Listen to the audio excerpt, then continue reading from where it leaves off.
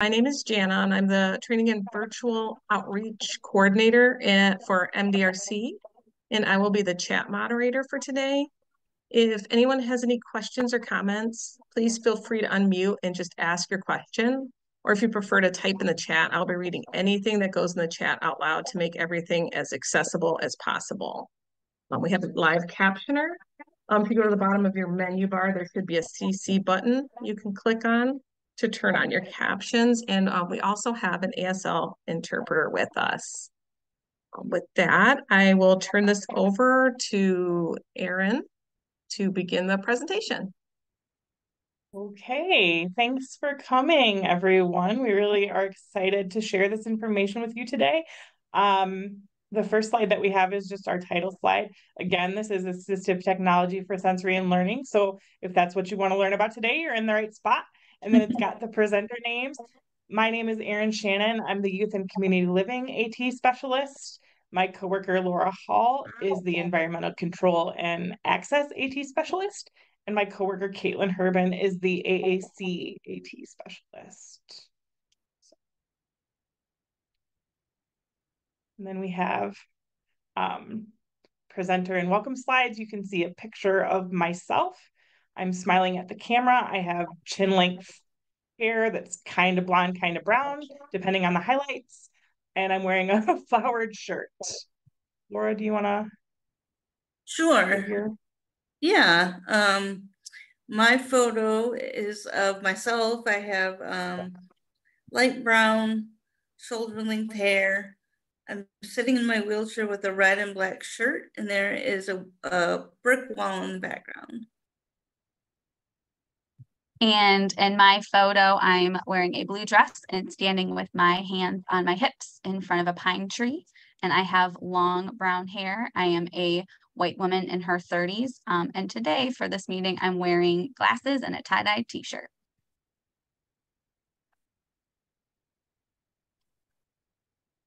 Okay, so we are just going to go through quickly what we're going to cover today. Um, we are going to talk about Michigan Disability Rights Coalition and our assistive technology program. We are going to talk about our lending library and um, talk about how you can take advantage of that. We're going to delve a little into disability and disability pride.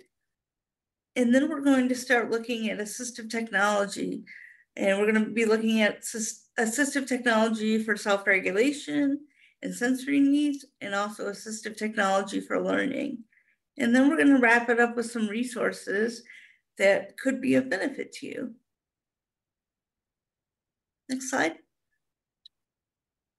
We are a pretty informal group, so you are welcome to ask questions during our presentation. You can put them in the chat or also you can come off mute. The picture on this slide is um, a light bulb with the thought bubble around it.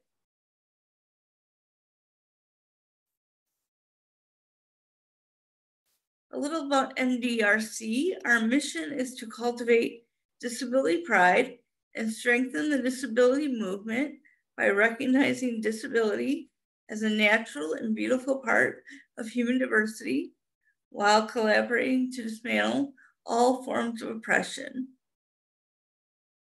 So we look at things through multiple lenses, not just disability.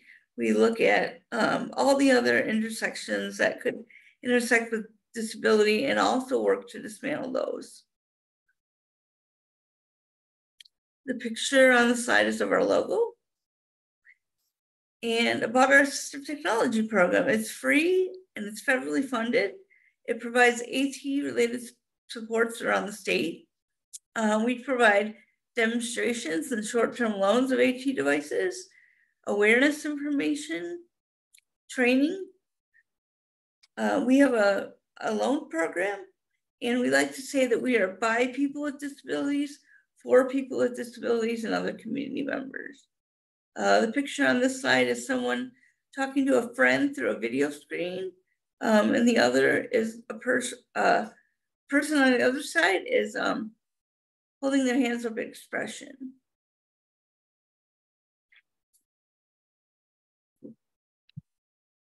we have assistive technology in a lot of different areas. Um, we have AT for community living, low vision, mental health and recovery, neurodiversity, outdoor recreation, gaming, gardening, environmental controls, hearing loss, reading, parenting with a disability, augmentative and alternative communication, uh, cooking and eating, crafting, calendar reminders, connecting with your friends and family, and more. So we have a lot of possibilities.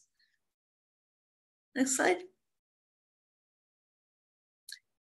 This is a link to our lending library. It's um, mymdrc.org slash lending dash library. We have more than 1,700 devices and we are actively updating the inventory that's listed on our website. So if you don't see what you're looking for, please reach out and ask us because we might not have something in the inventory that we actually have yet. So uh, the picture on this slide is of a young girl and a woman reading a book. And another picture is of a young girl with a lamp over her sleeping. And the third picture is of, what is the name of this? Our companion pet. Potato. Potato. Um, this is a robotic pet that allows you to interact with it and kind of um, responds to your movements. It's very cool. It's one of our favorites at MDRC. Next slide. So we're going to go through a few definitions. Um, one, so that we're on, we're all on the same page as to what we're talking about. But we also want to kind of give you the lens and perspective of what, where we're coming from. So we are a cross disability organization and we support people with both apparent and non-apparent disabilities. MDRC believes that disability is more than the mental and physical effects on the body. Disability is how society acts interacts and perceives an individual. It's also how that individual interacts with society and themselves. And as our mission said, we believe that disability is natural and beautiful. Uh, the picture on this slide is of someone using their toes to paint a picture. Next slide. Now, the definition of trauma Trauma is an emotional response to a terrible event. Um, it impacts the brain in the way that it operates, and it can happen at any time in someone's life. It can happen before they experience a disability, while somebody already experiences a disability, or disability can be experienced as a result of the trauma. No matter where it impacts, where it shows up, we have um, tools, including assistive technology, to build resistance in hearing.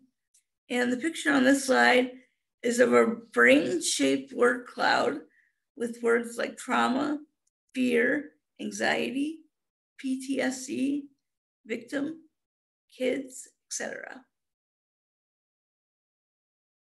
Next slide. Disability pride. To us, disability pride is accepting and honoring our uniqueness and seeing it as a natural and beautiful part of human diversity. It comes from celebrating our own heritage, culture, unique experiences, and contributions. There's a lot to gain from disability pride. It promotes self esteem and self acceptance. Um, it provides a support system or a community with a sense of belonging. It can provide access to accommodations. It demonstrates the value of interdependence. So not just working by yourself, but working with others to maintain your independence. It's living a life of honesty and being true to who you are. And it's also expressing an appreciation for diversity. The pictures on this slide are of um, many people showing their disability pride in protests and holding signs and marching down the street. Next slide.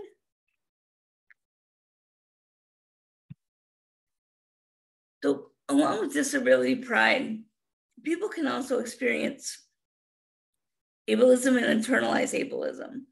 Ableism are beliefs that people are the belief that people with disabilities have less value or there's something wrong with disability.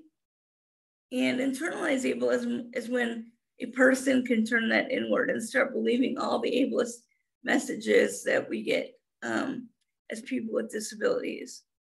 So it's important to recognize that disability pride is important. Um, it also it also takes practice. It helps fight internalized ableism. Again, it provides access to accommodations. It includes assistive technology, which is why we're all here today. Um, it can help reduce shame if, if you experience disability pride. It acknowledges and validates disability and it celebrates uniqueness.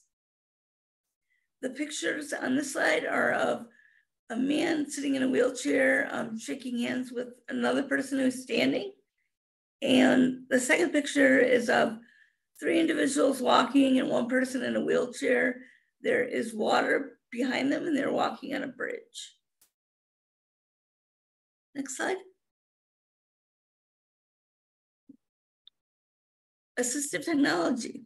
It's any item, piece of equipment, software, or app that helps people with disabilities, including older adults, do what they want to do. People often ask us, well, isn't technology just helpful for everyone? And that is true. But for people with disabilities, it really opens up possibilities. And um, that's why assistive technology is a bit different than technology in itself. The pictures on the slide are of a woman walking with her walker, of a person, sorry, of a um, door handle knob, someone holding a smooth rock, a rainbow medication reminder system, and our logo. Next slide. So when we talk about self-regulation, we are talking about the ability to manage both positive and negative emotions, sensations, and thoughts. It includes being able to regulate strong emotions like frustration, excitement, anger, embarrassment, and fear. It can help calm down after something is exciting or upsetting. It's being able to focus on a task. Also refo refocusing your attention on a new task. And it is, it includes the ability to control your impulses. The picture on this slide is some, some characters from Inside Out 2. We have sadness, joy, embarrassment, anger, anxiety, envy, and disgust, along with ennui up there on the shoulder. Next slide. So anybody can experience sensory, sensory overload. Um, we hear about it most commonly with people that have PTSD, autism, sensory processing needs, and other neural neurodevelopmental disabilities. So it can include having anxiety, just having a difficulty in relaxing, experiencing irritability, having strong emotional expression, restlessness, um, physical discomfort, or avoidance of the input. And that could be like covering their eyes or desiring to just escape the situation. It can look like stress, fear, or panic, like high levels of excitement or just feeling wound up. And it could be a triggering of the fight, flight, or freeze responses. The picture on the slide is of a person holding their hands to their ears with their eyes closed, like they're trying to shut out the noise. Next slide. So there is both sensory avoidance and sensory seeking.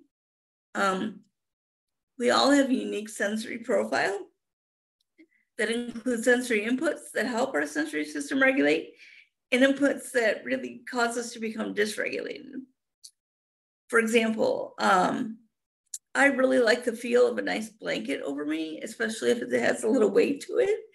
But I will not eat cottage cheese because of the texture. I just can't. So I have things that, you know, regulate me and cause me to become dysregulated. Um, when you're using assistive technology to support someone, it's important to understand which sensory inputs are enjoyable and which are unpleasant. And the wonderful thing about assistive technology is there's something for everyone. Um, so we can meet the needs of people no matter what their uh, sensory needs are. The picture on the slide is of a someone, a little girl using a walkie-talkie, which um, is a large stick that we have chalk on the end of, and of a girl jumping on a trampoline, on a personal trampoline. So the walkie-talkie could be good for someone who's looking to maybe avoid the feel of chalk. They don't like the feel of chalk. And the trampoline could be good for someone who has sense needs that whole body movement, that sensory input. Um, jumping on the trampoline could be good. So that is avoidance and sensory seeking. Next slide. Does anyone have any questions at this point?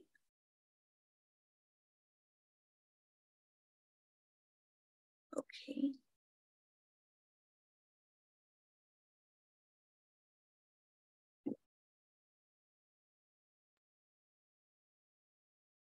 Are we seeing any in the chat? No, there's none in the chat that I can see. Just make sure. Yep, I don't see any in the chat. Okay. I think we're okay to move on. Well, there was a question from Vic Vicus. Sorry if I pronounced that wrong. Um, anything for learning difficulties? Yes, we are going to get into a little bit in uh, toward the end of this presentation.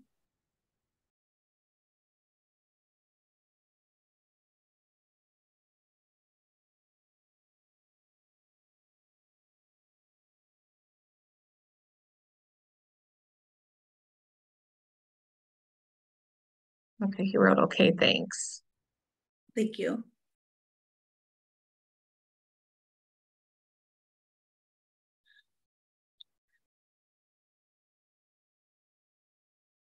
So AT for sensory needs and self-regulation. Um, before we start reviewing examples of AT for sensory input context, we might want to mention that um, many pieces of AT can be beneficial for multiple contexts and provide sensory input. We love multi-purpose AT around here. The picture on this slide is of five senses. So there's a brain in the middle with a nose, an eye, an ear, mouth, and hand, and arrows all pointing back to the brain. Next slide.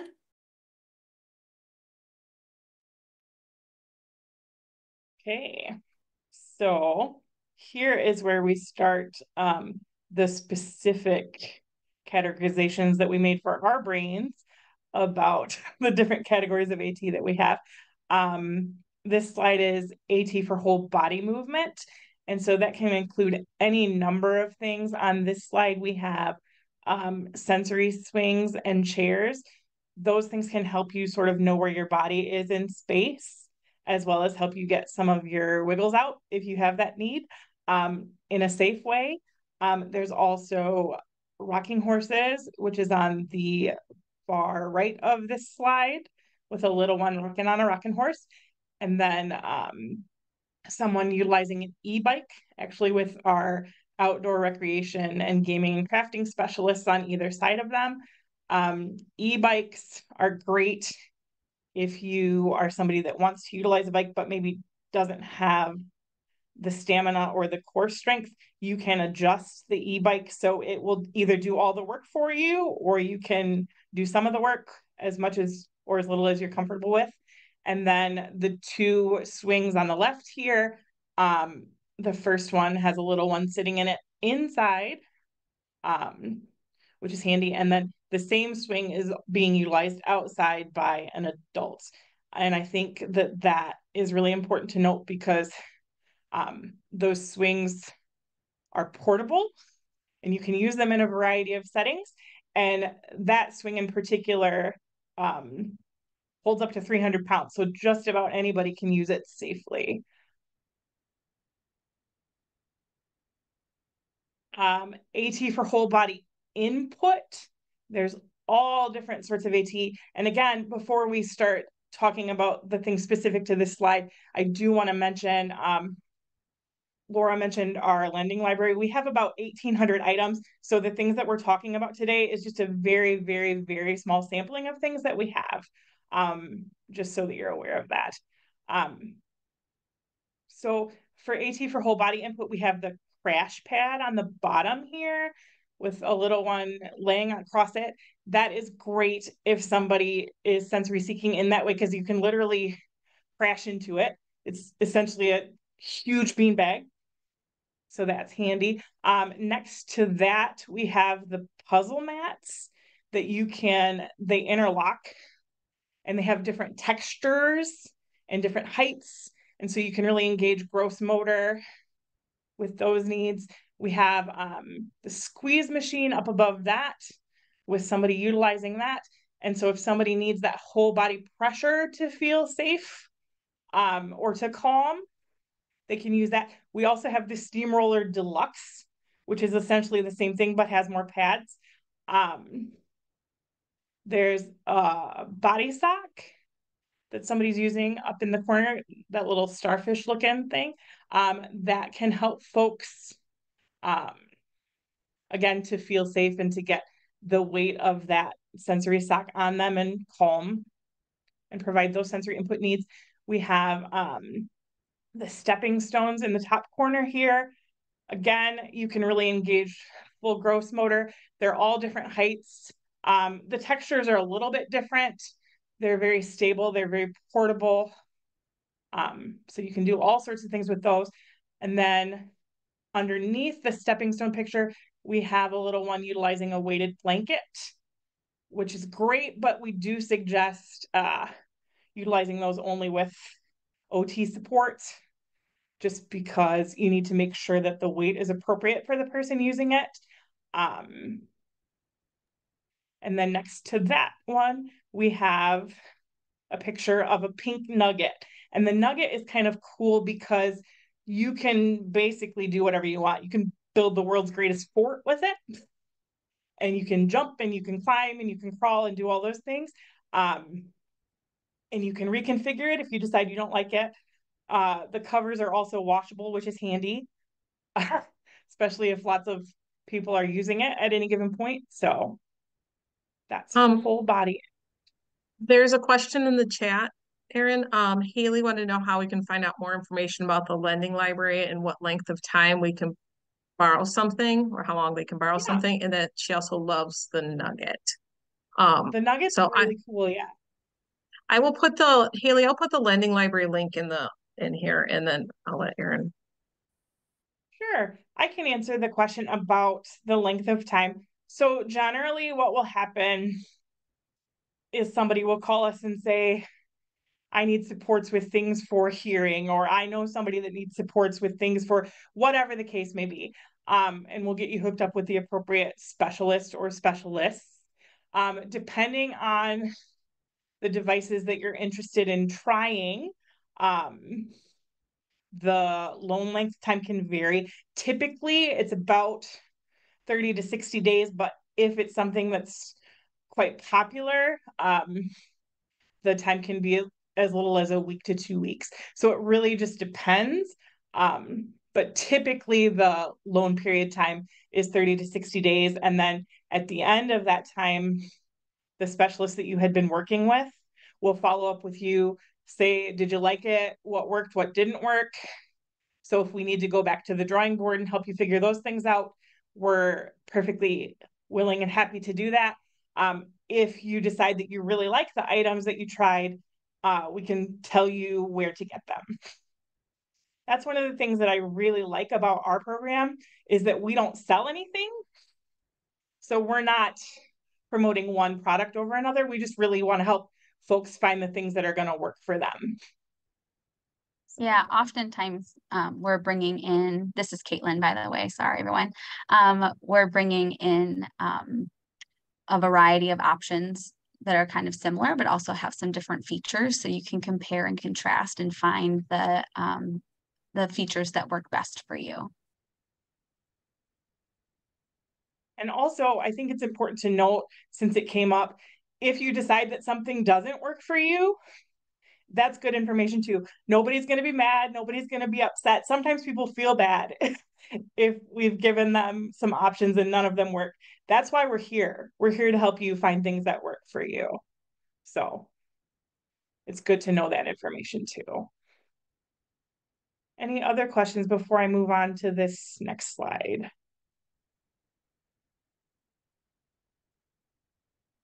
Okay. Um, assistive technology for touch. Again, we have all kinds of things. You can tell that our companion pets are really popular. Um, because we have both our dog and our cat version of our companion pets on this slide. Those, uh, again, are great for folks who can't have a pet for whatever reason, be it allergies or apartment complex rules or just lack of finances or lack of space or lack of time, any reason really, but you still want to feel that companion piece. Um, those are really nice. Um, for folks. There is also full disclosure, there is a bird. The bird is not my favorite, but again, different things for different folks. So if you want to have your own little Snow White Cinderella moment and wear it on your wrist, you're more than welcome to do that. Um, also on this slide, we have different kinds of slimes and putties and doughs and things like that, because those can be beneficial for folks who are seeking sensory input that way. Um, we have calming tactile strips. So those have different textures on them. The rainbow um, sort of rectangular strips on the slide here are samples of calming strips. There's different textures and di some of them are different weights too, right, Caitlin? I think. Um, depending on the textures, some of them are a little bit like thicker in in feeling than others, and there's also some other um, shapes, which we'll talk about in a little bit. But the nice thing about these is um, they're stickers, and so they can be very portable, travel friendly AT. Um, you can put it on the back of a cell phone case or an iPad case. It can go on the a notebook cover, inside a pencil box, on the underside of somebody's desk or chair. Um, they also make keychains, like flat rectangular keychains that you can stick them on, so you can have a different texture on each side if you like. Um, they're really, really versatile um, and um, subtle and travel friendly. So they're a nice option to have. Thanks. And then we just have somebody utilizing a touchscreen device also.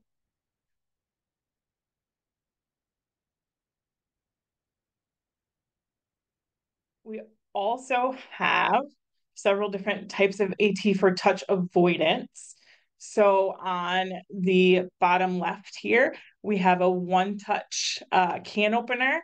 That's really kind of cool because um, it, first of all, it won't work unless there's a can underneath it. So that's a nice safety feature. Um, additionally, there's a magnet on it. So it will sort of find the top of the lid by itself. So there's not a lot of finagling that needs to be done in terms of getting it on the can correctly. Um, then you just hit the gray button on the top and it will go all the way around the can all by itself. And it will also hang on to the lid once it's done removing it. So you don't even have to worry about potentially cutting yourself on a lid or touching the contents of whatever's in the can that you're trying to open, which can be helpful for folks. Um, next to that, we have two um, pop can openers that look like they might have been 3D printed. Um, So again, if you don't like the sensation of touching the metal or if gripping the top tab is difficult, those can be helpful for that. Um, The se- second picture shows uh the 3D printed opener kind of twisted around. And they have a nice um other feature that you can kind of use it to cover up the opening in the can so that you can keep um ants and bees at the party. You're sitting outside um out of getting inside of your can. So that's kind of a nice um uh bonus feature, if you will, of that little device. Then next to those is a um stylus door lock opener on a keychain. And then above is uh just somebody utilizing some rubber gloves. It looks like maybe they're washing dishes. So if you're somebody that doesn't like the sensation of water or touching dishes or touching that kind of thing, you can use gloves for that.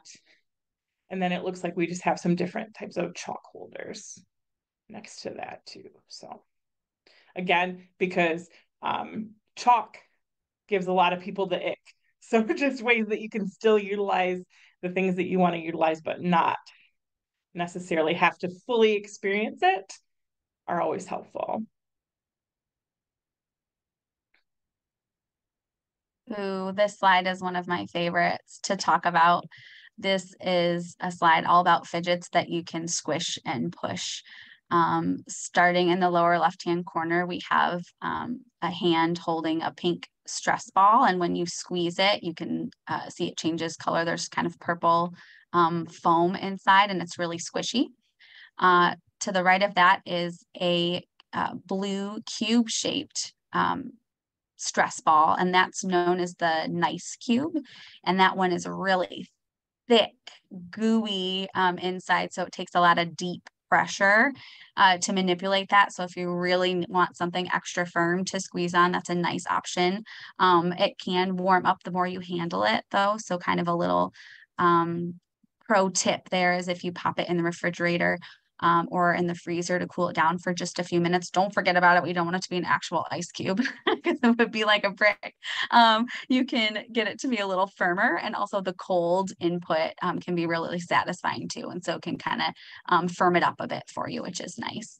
Uh, to the right of that is a white um, circle, uh, kind of standard shape um, stress ball that has blue flecks in it. This one's really interesting. Folks tend to either love it or hate it. It's uh, called the Snowball Crunch. It's filled with like a cornstarch center. So when you squish it, it kind of like rubs and grinds and gives you kind of a different input there. Um, some people liken it to like uh, like nails on a chalkboard kind of feeling though. So that could give you the ick. The nice thing is, is we have a variety of stress balls and they all have different um, inputs and features. So we can definitely find one um, that will work for you. The last one on the right, uh, lower right hand corner there um, is another NeeDoh brand stress ball, and that's called their atomic one. So it's like a standard stress ball, and then around it is another um, silicone covering with holes in it. And when you squish it, parts of it pop out of the holes in the cover. Um, and so that can be really satisfying because you get the visual um, color change and also kind of have something to push and pull um, in and out of those openings. Above that, we have some um, poppet fidgets that everybody nowadays, they come in a bunch of colors and shapes and sizes and um, some of them come on keychains, which is really nice. I even saw a pencil box uh, recently that has those in there. Um, so those can be a nice option if you like to have that feeling of pushing things. It's kind of like the endlessly reusable bubble wrap, um, if you will. Uh, to the left of that, there's this really interesting neon green plastic um, 3D fidget toy. They call it the worm. Um, in our office, it's affectionately known as the breadstick because when you kind of squish it, it becomes kind of like a long oval shape. So one of our colleagues, kiddos, uh, calls it the breadstick, and we really like that name. I think it's um, you know exactly the shape that you're talking about, and you can kind of push and pull it back and forth. And then to the left of that, we have some fidget cubes. Um, these are little dice shape or cube shape fidgets that have different inputs on the side. So you can push the buttons or um, click them back and forth and um, kind of um, turn the dials and that sort of thing.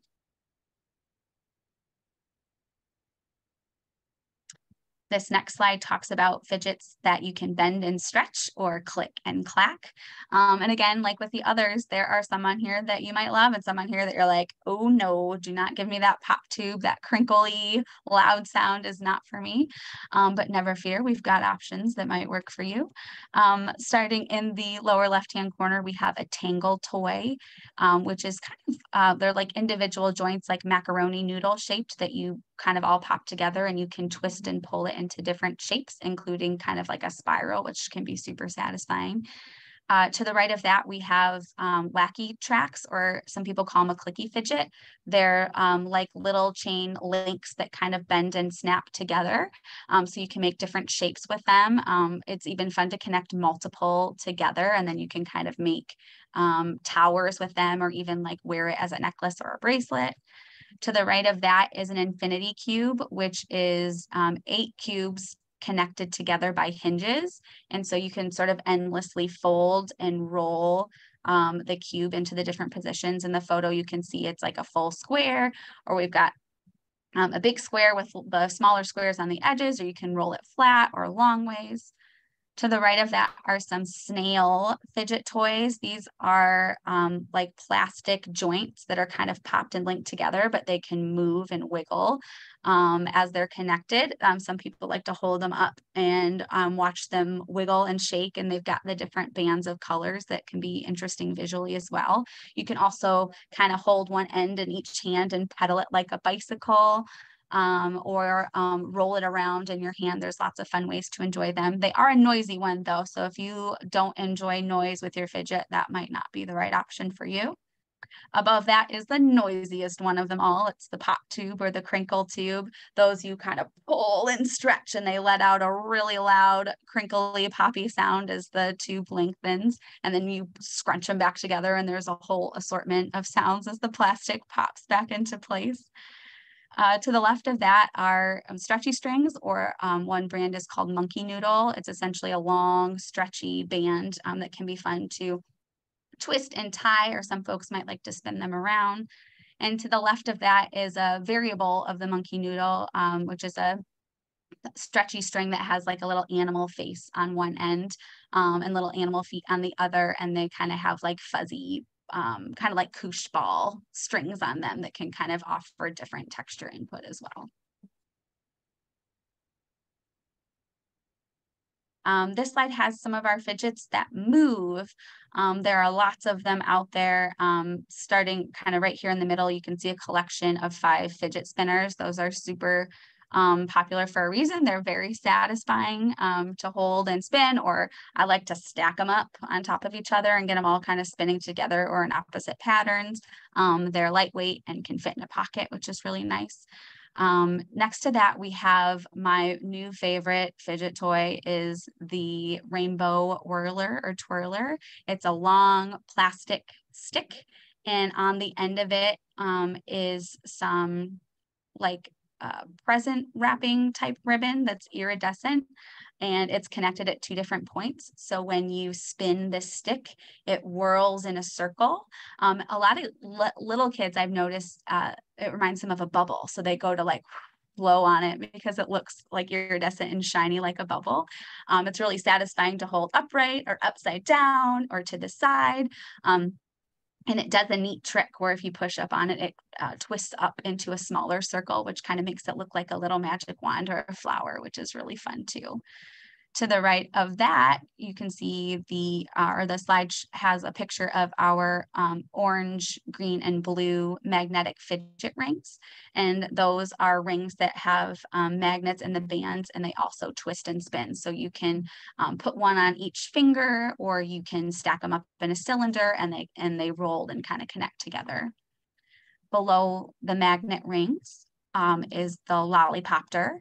Um, this is a new toy we have in our lending library this year um, that is a metal stick with plastic um, kind of leaf shape um, strips on top that make a circle. And when you pull it off its magnetic base, you can twist it in your hands and all of the leaf pieces kind of clack out um, into space. So it looks kind of like a tree shape or a ball shape. And then you can spin it the other way and they all lay flat again. Next to that is the Mosey. This is a kinetic fidget toy. It's made out of interlocking uh, metal rings that you can kind of push down and um, it makes like a bracelet you can pop onto your arm. And then as you move your arm, it can um, kind of spin up and down your arm. You can pass it from one hand to the other or pass it to a friend, um, which can be super satisfying. Uh, to the left of that, we have a couple examples of the Ono rollers. These are cylinders, kind of like what you would um, what would be on a conveyor belt, like at the airport security. Um, so it's two cylinders connected together by little metal plates at either end, and you can roll them between your hands. Um, or you can roll it kind of one-handed. Um, the one on the right is made out of stainless steel and has a really heavy weight to it. Uh, the one on the left is made out of a silicone covering and has bumps on it, so it's kind of textured. Um, sometimes folks might like to roll that on their arm, or if they're sitting at their desk, they can roll it kind of on their lap to give some pressure input that way. Um, they also make them in plastic and aluminum, so they're kind of different um, sizes and weights. Um, and these are really nice because they're easy to slip in a pocket, uh, like a jeans pocket or a backpack pocket, and kind of take on the go with you. Um, I will tell you um, for all the fidgets we've talked about so far, though, those ones tend to be the most expensive um, of the fidgets that we talked about today. There's a comment in here from Erica that says there are a few of us on here who are interested in what type of alternative seating options you have for school systems. We work in the school systems. We have a couple slides ahead, we have a couple different alternative seating options. So we'll get there. Great question. Okay. Um, this next slide has some of our AT with lights um, that um, we have available in our lending library. The um, picture in the lower left-hand corner here with the hex hexagonal tiles, though, I'm going to let Erin talk about because she's done a cool installation with these recently we have a really cool installation, if I do say so myself, not that I'm biased, um, of these lights. They are, we have 10 of them and they fit together with magnets. And as long as one of the hexagons is connected to another one um, and plugged into the wall, the uh, lights, you can tap them on and off and they're different colors. Um, and so you can arrange them in whatever uh, way that you would like and works for you. Um, and they're really nice and bright. So people that might need the visual supports are able to see, um, able to interact that way and able to see them in most cases. Um, you can also dim them if the full brightness is too much. And another benefit to those is even though you can tap them to turn them on and off, you can also, if you just sort of hover your hand over them, that will turn them on and off as well. So you don't need to be able to apply any pressure or have your hand um, in the exact appropriate spot in order to uh, be able to interact with that device. Um, and then we just have a few um, things that will project different light patterns onto uh, the walls or the ceiling or wherever you might want them. Um, those can be helpful for some folks for sleeping and relaxation. Uh, next to that, we have a disco ball because who doesn't love a disco ball? It's very bright and colorful and happy. And again, for folks that uh, would like the visual support to be able to interact with AT, that's helpful. And then on the bottom right hand corner, we have a fiber optic light um, that is switch adapted again, so folks can interact with it that way, and it does change colors too. So.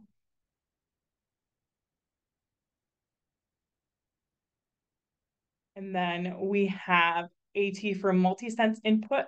So um, you can make like sensory bins and baskets and buckets and those kind of things.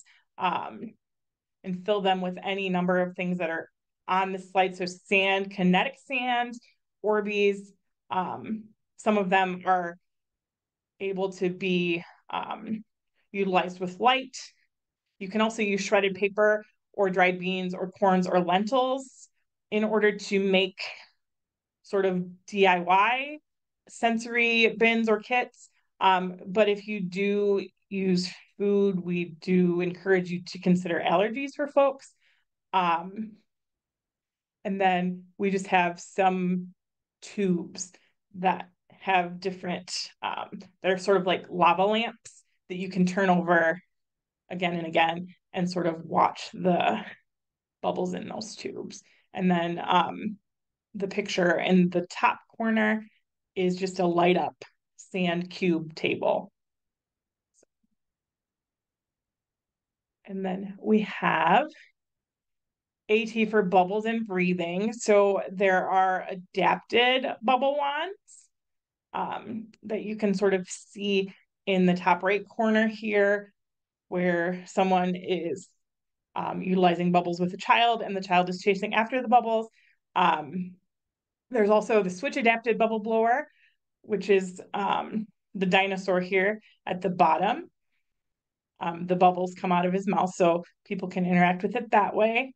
Um, in terms of breathing, there's the breathing ball, that's the brightly colored spherical um, device in the corner.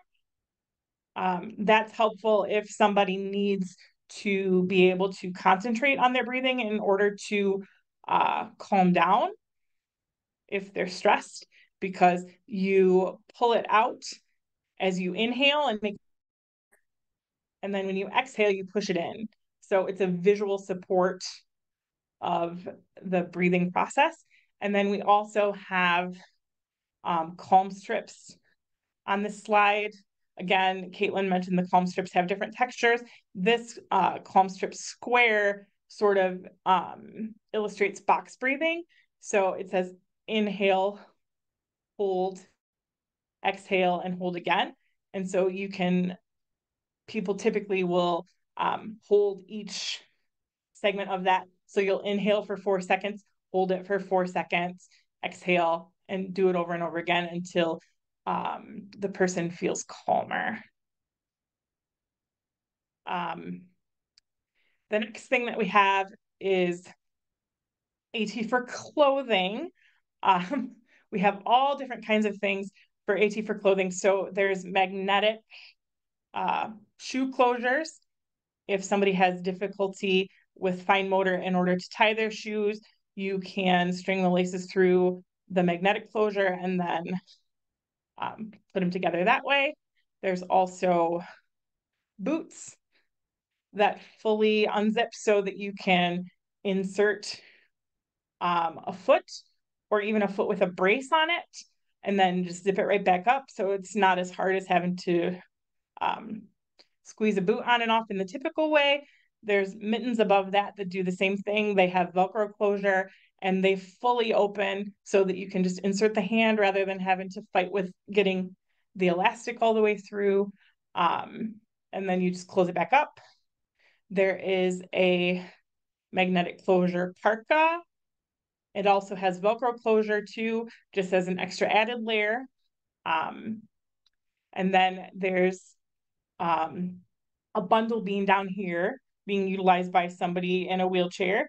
And that is a fleece lined, uh, essentially lap cover for somebody who uses a chair or is in a seated position frequently. So they um, can be protected from wind and rain and snow. Not that we ever get snow in Michigan. I know everybody hates to think about that now, but it's coming for us. So we have those things available. Um, we also have a variety of things for uh, day and nighttime incontinence. So there are on this slide a variety of different types of reminder watches um, that you can set for any length of time. Typically, uh, you can go from every 30 minutes to every two hours, and the watches will either vibrate if you're wanting something that's a bit more discreet, or some of them will play music or give you an auditory uh, cue as well, uh, just as a reminder to go use the restroom. Um, there is a moisture sensor. So if somebody is a really heavy sleeper, um, that will alert you to the fact that um, there's moisture that needs to be taken care of so that somebody's skin can remain healthy. And then also on this slide, we have a variety of different kinds of um, incontinence underwear and pajamas. Erin, Mhm. what was the, green- what was the green device again? What was the what? The green device? Oh, that's the moisture sensor. Oh, So okay. um typically what will happen is you put uh one part of the sensor on um the pajamas of the person and then the other part of the sensor is hooked up underneath the mattress or the bed sheet and then as soon as the sensor on either the person or the mattress senses moisture it will vibrate or provide an auditory clue to alert someone to the fact that there's a need for some additional uh, supports there.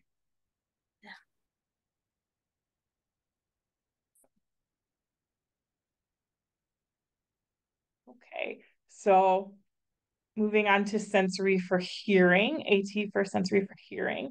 Um, we have a variety of noise canceling headphones, um, noise reducing headphones. So hearing sensitivity can begin as early as a newborn. There are all different kinds of styles of headphones that fit infants to adults. The infant headphones will wrap around the back of the head and the forehead to protect the soft spot on the baby's head. There are also more comfortable styles like sleep headbands that are soft and wrap around the head if someone doesn't like the heavier over the ear styles um, that are typically a bit bulkier.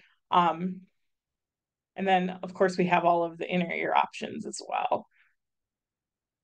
Um, another thing for hearing would be the use of music.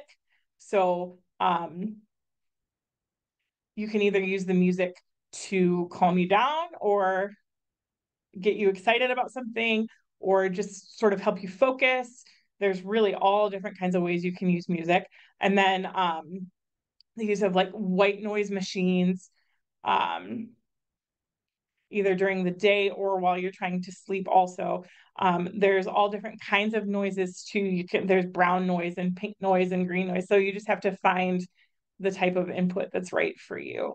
And some people like like rainforest sounds or nature sounds, and some people like city sounds. And so there's all different kinds of options there. Um, and then we have AT for music. So there's uh, singing toys that could be switch adapted or not, depends on the needs. Um, and then again, the use of playlists for various things. Um, some people have certain things that they listen to if they're trying to um, up their energy for something again, and things that if they're using to calm themselves down. Um, panning audio is useful for people um, because the audio will go from one ear to the other. And some people say that's very, very calming to them. One of my coworkers describes it as her brain being flossed, and she says that feels very good to her. So she uses it for that. Um, again, music can be helpful in terms of rhythms and repetitive movements, and drums are useful for that. And electronic drum pads like are in the picture. And then we also have um, a switch adapted elephant that sings and flaps its ears and that kind of thing. Um, and then vibrations or shaking can be helpful for some folks. So you have ideas like maracas or shaker jars or tambourines or those sorts of things. Um, and then AT for sleeping. There are all different kinds of sleep sacks that you can see the little one in the corner here is utilizing. Um, body pillows, some folks really enjoy, some folks really don't. But again, that's where we try to have a little bit of something for everybody. Um, night lights and also wake up lights um, to sort of cue you when it's time to sleep or when it's time to wake up and help you with that process. Um, the light projectors, like we saw on the previous slide, can also be helpful.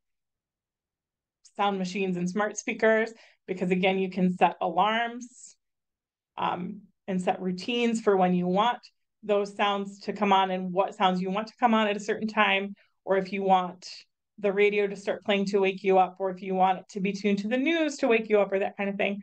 Um, then the picture next to the little one in the sleep sack is the sleep bar, and that's handy because um, you can put it under your pillow or next to your pillow, whatever works best for you, and play your podcast or your music or your white noise or your green noise. And um, the idea is that you will be able to hear it, but not anyone who might be in the room or the bed with you. Um, and then next to that, we have a Bluetooth uh, sleep mask, which covers your eyes. So you don't get input from light or affected by light that way. You can also play um, white noise or podcasts or music or whatever through that if that helps you sleep. And then at the very top, we just have a sound machine with some lights. And then um, next to that, we have the Better Sleep app logo because there are all different kinds of apps to help with sleeping. So that's just one that we came up with. And also um, compression sheets can be helpful. They're a tighter sheet that gives off deep pressure and can help settle if somebody needs that at night.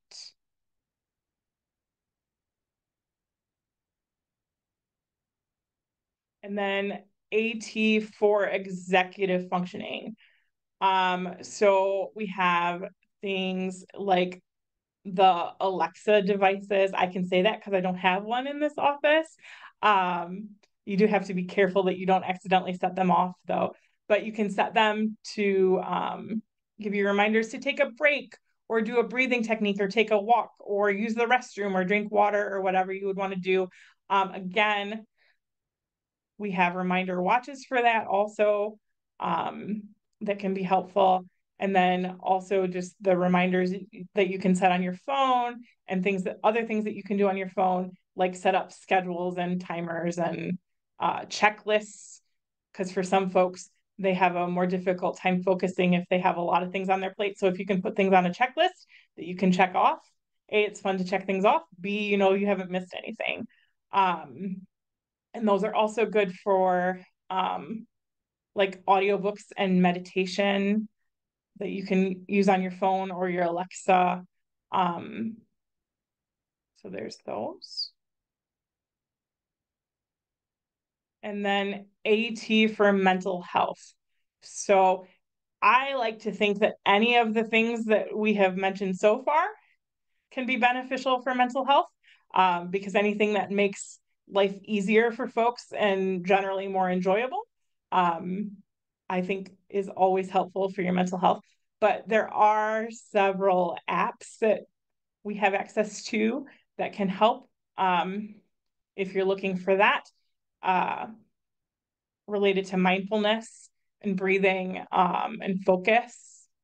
So we just have a couple of examples. Everybody, I feel like, is pretty familiar with the Calm app. Um, another app that is available and is free for folks is PTSD coach. So if somebody experiences uh, PTSD, and even if they don't, it's a good app to use to sort of check in because it will ask you how you're feeling today and you answer a couple of questions. And it will give you coping techniques to use throughout the day to help improve your day and improve your mental health. And it will also track if you use it multiple times it will sort of track patterns and give you um, more tailored suggestions based on those things um, and then I'll talk about the Sensate, and then I'll let Caitlin talk about Finch because she loves Finch. Um, the thing that we have on the bottom right corner is called the Sensate, and that is a device. It's a little medallion that comes on a lanyard, and you pair it with an app on your phone, and you can pick a music pattern or a vibration pattern, and you wear the Sensate uh, you place it on your sternum, and the idea is the vibrations and the music will stimulate your vagus nerve and help with anxiety, um, particularly if you're someone who experiences a lot of anxiety or maybe isn't as comfortable with um, medical options, um, prescription options, um, this is available. And I've heard that folks really, really enjoy it. That's one of our really popular items. So the last image on this slide shows the three little birbs in the for the Finch app. And um, Finch app is like gamifying self-care. Um, so there's lots of check-ins and um, first aid um, sort of tools uh, that you can access and teach you how to use. So different breathing techniques. So for example, you can set um, the amount of time you want to do the breathing and if you want to do it to relax and get calm, or if you need to do focus breathing or energizing breathing. Um, so they kind of have the different techniques available in there. You can also pair it with um, exercises and set goals for yourself uh, that have a customized schedule for things you do every day or maybe every other day or once a week or once a month or whatever your schedule is for that. And as you check things off the list you earn uh, energy and um, sort of coins for your little birb. And then you can go to the store and buy different outfits and different things for their little treehouse room. Um, and it is a very um, satisfying click to check those items off your phone kind of gives a little vibration and the coins kind of go up to the bank and um, it offers lots of really um, cool graphs and things to track um, how you're keeping up on different goals and things um, and is a really lovely and customizable option for folks. Another benefit to it too, I think, is you can invite your friends to play with you. Um, so you can kind of have your friends as a built-in backup check-in system. Um, and it's just a way, it's a nice way to engage with your friends too. Because mm-hmm. everybody has to keep their little finches alive. So it's kind of like an old school Tamagotchi mm-hmm. a little bit.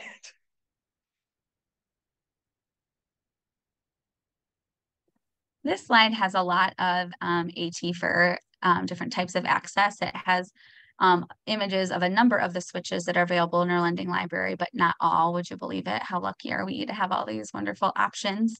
Um, when considering access um, for AT for um, sensory needs or self-regulation or learning opportunities, um, it's also important to consider um, what type of switch you're using, um, not only for the person's uh, motoric and positioning needs, but also for the um, texture inputs as well.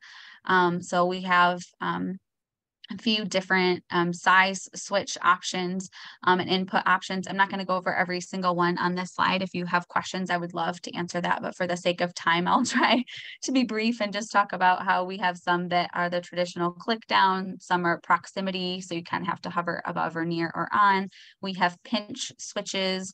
Um, we also have grip switches. Um, we have some switches that are covered in uh, like a pillow switch, so softer material.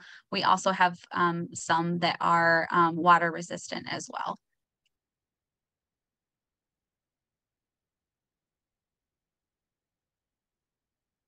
This next slide talks about um, kind of a widely available um, option for folks, which is different sort of calming videos. Um, there's all kinds of YouTube playlists out there with different videos for different purposes. Um, I just listed some of um, my favorites on there. Um, ASMR or the autonomous sensory meridian response is sort of that like tingly, goosebumpy, satisfactory feeling some folks experience when they get certain inputs. Um, there's a lot of videos out there that are um, great for that and can be very calming. Um, in particular, some of the different slime videos. Wow, are there some amazing slime creators out there? And they do different interactions with them and scooping and um, all kinds of neat things. Um, folks are doing cool things with sand art um, and kinetic sand, putting it into different shapes and cutting it. Um, there is um, someone named Andrea Love who does a kind of a cooking with felt show, which is like little tiny um, felted kitchen miniatures. And it's like motion stop animated and um, is very um, visually interesting and kind of has like calming or sweet music a lot of the time as well. There's tons of things out there. If you want more ideas for those, please feel free to reach out. Any questions at this time? I'm looking at the clock. It's 109. We've got about 21 minutes left promise to you. And now we're talking about learning and education. um, for this last bit here. Feel free to interject as you have questions um, or type them in the chat. Um, otherwise, we're gonna um, we're just gonna keep trugging along so we can try to try to get through all of this. Okay. Um, next section here is talking about AT for learning. And so similar to as Laura mentioned earlier, you know, we sort of categorize things a little bit, but keep in mind many pieces of AT work, you know, multi-purpose and cross-categorically and can be used in lots and lots of different ways. Also, pretty much every piece of AT we've already talked about can be used in a learning setting as well. So um, keep that in mind. Um, AT, just a brief note about AT and the IEP and 504 plans. Um, both IEPs are individualized education plans and 504 plans um, can include AT. Um, IEPs are a little more um, in depth in terms of um, they list out specialized instruction related services that a student needs to access their education and 504 plans focus more on uh, the accommodations that will be provided. but regardless, IEP teams are required to consider the need for AT, and if AT is necessary, um, schools districts are required to um, to get that item available for that student. And if you're curious about um, some recent guidance that came out this year on that from the Department of Education, um, there is a link in the chat for you. AT in the classroom. Uh, many of the different um, fidgets and um, other items we talked about today are, can be great options to include in a calming corner or an action corner or in a student's customized self-regulation toolbox.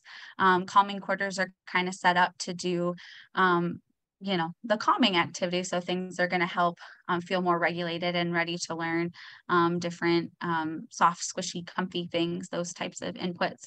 Action corners are a little bit um, kind of opposite sort of input from that um, can kind of outline um, different like gross motor movements for students to do. Could be like tape on the wall and things to jump and tap or little obstacle courses in the hallway or different types of movements and things like that. Self-regulation toolboxes can be um, done with visual supports and or can be actual physical boxes of items um, and fidgets that are tools that are helpful for a student to use. Um, we have in the next few slides here talking about AT for learning and development, including social emotional learning, some seating options, AT for reading and writing and note taking, drawing, writing, crafting, art, um, different um, switch mounts and styluses and grips and um, computer access and stuff for recess as well. But also there's a lot of AT out there for classroom atmosphere like light covers and things like that to um, create a good learning environment space um, for folks so they can do their best learning as well.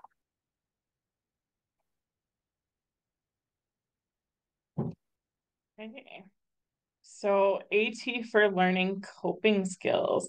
We have one of the really, I think, really neat things that we have is the Mightier app. And what the Mightier app is, is it comes already on an iPad and it is a game that comes with heart monitor that you wear like a Fitbit and then a stress ball. And um, the idea of the Mightier game is designed to annoy you because it will monitor your heart rate. And then if your heart rate goes up too high, it will require that you use coping skills to move along in the game. So, um, like the first game that you're playing, the first coping skill might be to squeeze the stress ball until your heart rate comes back down and you're allowed to move forward. As you progress, it might be do 10 jumping jacks, uh, you know, that kind of thing. Just depends. And there are um, 25 different games on the Mightier app. So if one game doesn't work, there are plenty of others. But a lot of the the first one I know has to deal with collecting little lava guys. So that's kind of fun. Um, so that's the Mightier app. And the idea is that the more that you utilize that game, those skills will become transferable outside of the game to other situations also. Um, so we have a picture of the Mightier app and somebody um, utilizing the Mightier app below that. And then um, right next to that, we have um, some little spot of emotion people. So they are little stuffies that um, illustrate different emotions, kind of like the Inside Out uh, cartoons. But it also comes with a book that will help, um, particularly folks who are learning about what emotions are, because sometimes it's hard to put a name to those things. Um, might help explain what anger feels like or sadness feels like and can look like for some folks so that people are better able to identify. So that's um, those. And then next to that, we have Harmony Game Room, that which is also a free app and has a variety of games that are designed to um, help with different coping skills like breathing or even you know how to talk to a friend and build those social skills. Um, it'll give you sample questions um, to start conversations and talk about uh, facial expressions and social cues and that kind of thing in a very um, fun game like way. So. And then we have all different kinds of sensory seating. So um, in the right top corner, here's a butterfly seat. And the butterfly seat is neat because one side is smooth and one side has sort of the little nubs. And so you can turn it over based on whatever input you need. You can also adjust the level of air. So it can be firmer or squishier depending on somebody's needs. Um, underneath that, we have wiggle wobble chair feet, which are great if you or somebody are someone that needs to fidget a little bit and be moving in order to concentrate.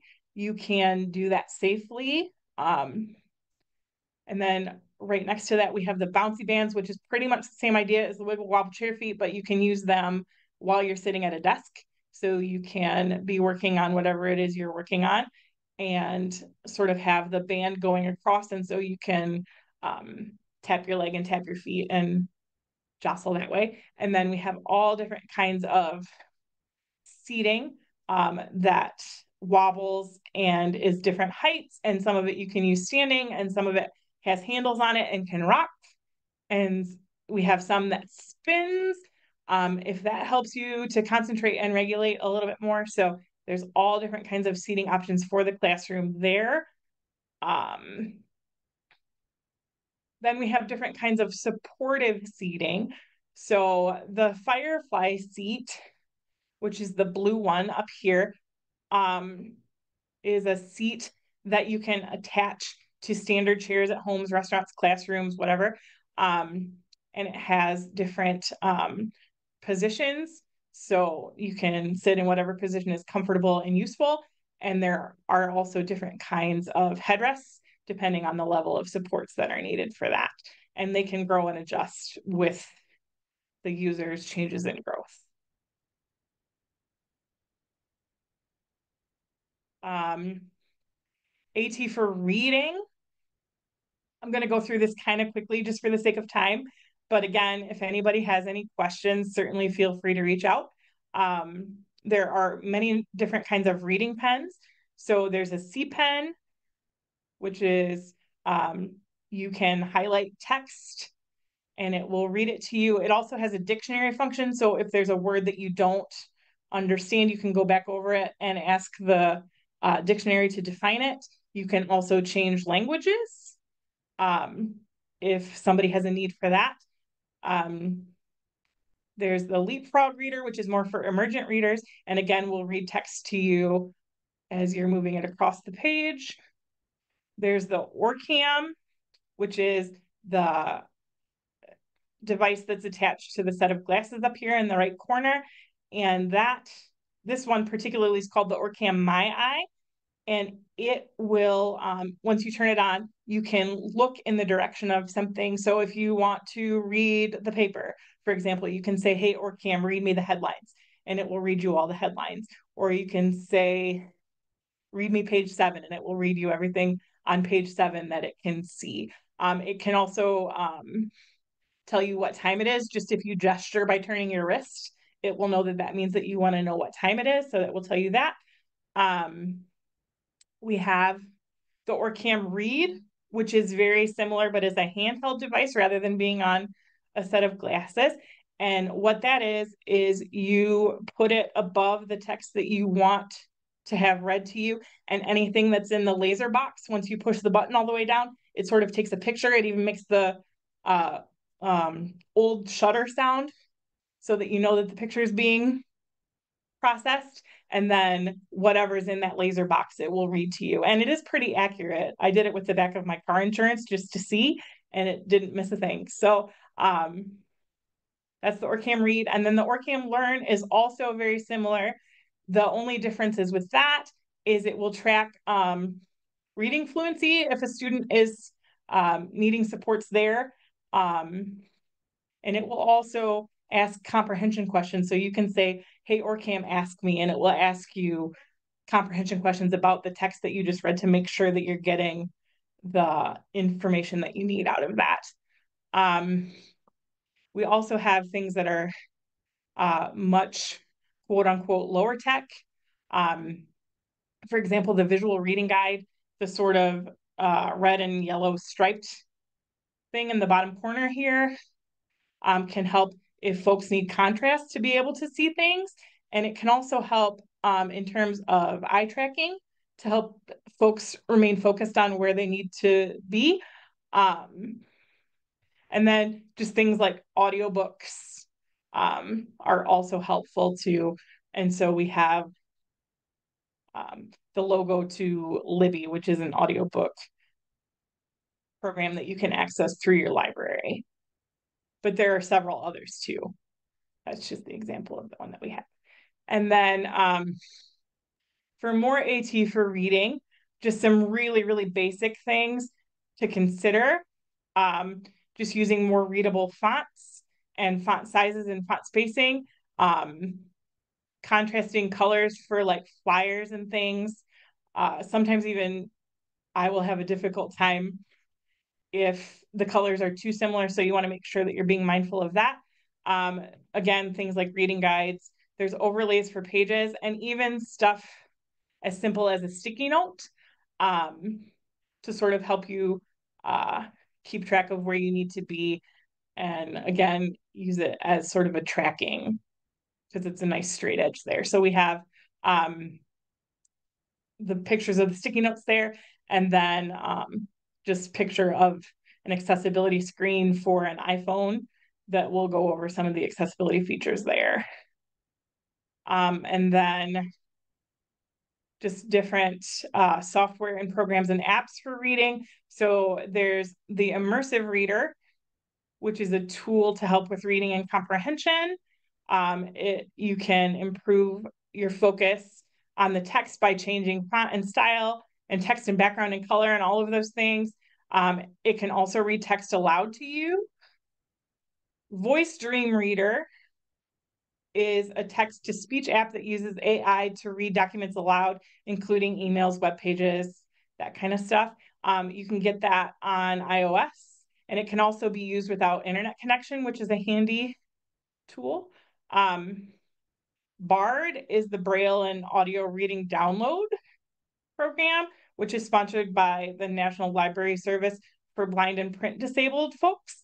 Um, you do have to fill out an application to um, state that you need that support, but you can download books and magazines and journal articles and those kind of things through that. And then um, Seeing AI app is an app that uses artificial intelligence, artificial intelligence, sorry, to identify money, people, things in your cupboard, that kind of thing. Um, it's also free and is available for iPhones and Android devices. And then AT for note taking, we have the LiveScribe pens. Um, the LiveScribe pens are really cool as long as you're using the LiveScribe paper. It does require the LiveScribe paper. It can, um, while you're taking notes, it will also record the audio that's um, that someone is saying while you're taking the notes. So even if you're a doodler, if you're doodling a flower but you don't remember what somebody was saying while you were busy doodling your flower, you can go back and touch the flower and it will um, play the recording back for you, so you won't miss anything there. Um, and those do come with headphones, also. So you don't have to worry about when the text is being read back to you that you're disrupting anyone else.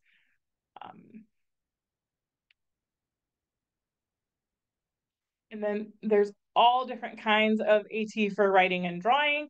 There's a variety of pencil grips on the slide. Some of them are a little bit squishier. Um, some of them are a little bit more stable. There's the writing bird, the thing that kind of looks like a dove. Um, and the idea of that is you put the pencil or the pen or whatever marker you want in there um, and you can tighten it and then you just sort of glide the bird along so you don't have to be able to grip the pen at all, um, which is handy. And then above that is the Arthrider. I always tell people it kind of looks like the Death Star from Star Wars, but you can um, tighten your pen or your pencil or your paintbrush in there also. So if you need um, to grip your pen or your pencil or whatever in a different way, you can do that. Um, next to that, the kind of rocket ship looking thing with somebody's finger in it is the PenAgain. And the idea behind that is you, you stick your finger in sort of that horseshoe shape, and then you don't have to worry about gripping anything at all.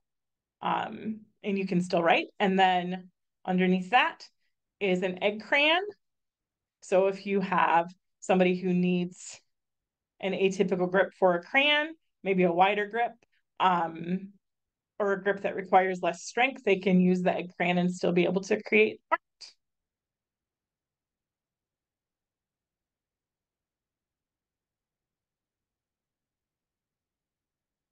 Sorry, I was looking at the question in the chat there. Um, Carlos was asking uh, or said that access to these products with associated costs, our Parks and Recreation Daycare Program is interested in purchasing several products featured.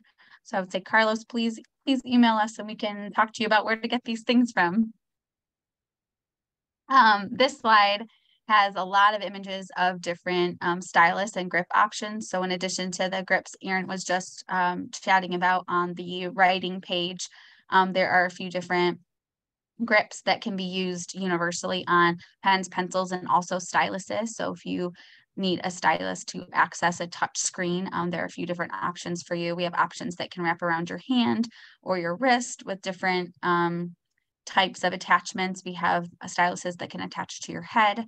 We also have a number of different grips available, and um, we have one stylus in particular, particular, which is this image in the um, left side page, left side of the page in the middle, which is the cosmonaut. It's a um, like dry erase marker sized um, stylus. So it's a little bit thicker, thicker and heavier, which can be nice input for folks who need something a little bit more substantial to access a touchscreen.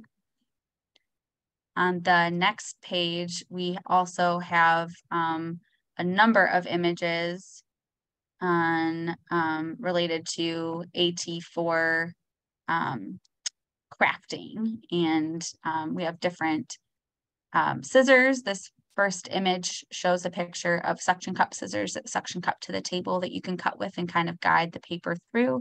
Um, we also have a number of um, uh, paint brushes with adapted grips on them um, and other um, AT. I'm gonna, I would love to talk more about the items on this page, but I'm looking at the time and I, I wanna make sure we have time for any questions. Um, can we go to the next slide, Erin? We also have AT for classroom gaming. So um, dice towers and rollers, accessible dice, card holders. We have the alternate spinner, which um, is a switch adapted um, alternative to dice. And you can also customize that in other ways. Um, and on the slide after that, we have um, AT for computer access. So we have lots of different type of mice and keyboards and key guards available for folks to try to find a good setup at a computer.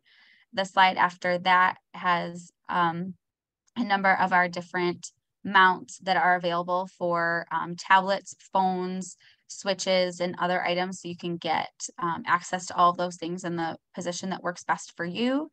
And the final slide um, with AT on it shows some of our AT for recess or recreation or play at school. So we have uh, the walkie chalkies that we talked about earlier, um, some um, adapted chalk rollers that can be attached to wheelchairs. We have a snowball maker And um, we have some of the um, Velcro ball catch toys. So the takeaway for today is that there's a wide variety of AT available to support sensory and learning needs across environments. And there's a lot of things that can be used in a lot of different ways. Um, AT can and should be a part of accommodations available for folks in educational settings. Consistent, consistent access to and use of AT is practicing disability pride. And really and truly, AT provides access and opens up possibilities for people. What questions do you have? There's a question in the chat from Sarah that says, does MDRC offer classes or support groups for children with learning disabilities and dyslexia and ways to help them outside of school? Great question. We don't currently have a group set up specifically to help um, families with kiddos with learning disabilities and dyslexia. But Erin is our youth specialist and she might know of some community resources depending on where you're located. Erin, do you have anything to add to that? I would just say certainly feel free to reach out and I will do my best to get you hooked up with some uh, current resources and then certainly check back because we're always adding things to sort of our repertoire. So just because we don't have something now doesn't mean that we won't in the future. So certainly keep in touch with us and would keep you up to date. Um, there was also a question from Kelly about talking about SLD Read. Mm-hmm.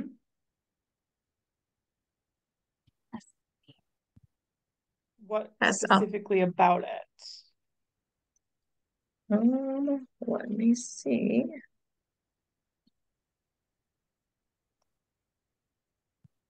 There's also um, a message um, from Marcia that says, thank you. I learned so much that I'll share with others and maybe someone and maybe use myself someday. I appreciated that information shared went beyond just reading the slide. Yeah, I apologize for us pushing so close to the end of our time. As you can tell, probably Erin, Laura, and I love talking about assistive technology and all of the many ways it can be used, especially the creative and off-label uses. So we love to brainstorm those ideas with folks. So um, please feel free to reach out to us um, through our email or phone number, um, which will be on one of our slides here um, for more of a customized conversation. Um, we'll also send out our resource guide with some of the resources we talked about today as well. Kelly was just wondering if we could mention SLD as a resource, a possible resource for others. Mm -hmm. For sure. So yeah. I will put the I'll put the link to SLD in the um in the chat for everyone. Yep. And that'll for sure go in our resource guide too that should be forthcoming. So one thing that's cool about our work um, too is even if you you know have a question and it may not be something that we have or do um, we have a lot of connections with folks in programs and grant programs and waiver programs and things like that and we love to help folks get connected with resources in their community Erin, will you switch it to our um, contact slide? Mm -hmm. Thank you.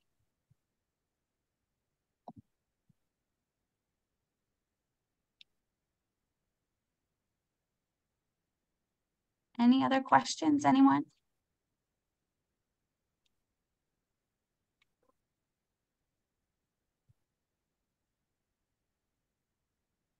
There is a question from Marcia. It says, have you thought about sending this presentation to school administration for sharing with staff? They could, there's so much they could use here. Funny you mentioned that, Marcia. You know, Erin and I take this show on the road. All the time. yes. We love to come and provide in-person trainings in schools. We also can do them uh, virtually. Erin, what else do you want to say about that? I was just going to say um we can we don't typically share our presentations just because we like to sort of tailor them to the needs of the audiences that we're working with but if you know of anybody or want to put us in contact with anybody that you think could benefit um, we're certainly happy to do that Yep, Erin and I come to schools regularly um, to provide trainings and presentations for uh, leadership teams, assistive technology teams, um, and all sorts of educational staff who have want to learn more about um, what AT is available and can be beneficial for their students.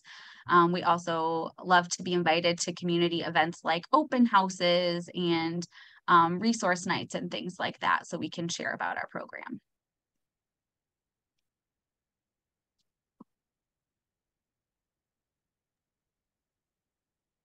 See anything else in the chat? So Wonderful. Thank you everyone for your time today. Um, we're so glad that you're here and wanted to learn more about assistive technology. Please feel free to contact us at the information listed on the slide, and we hope to hear from you all soon.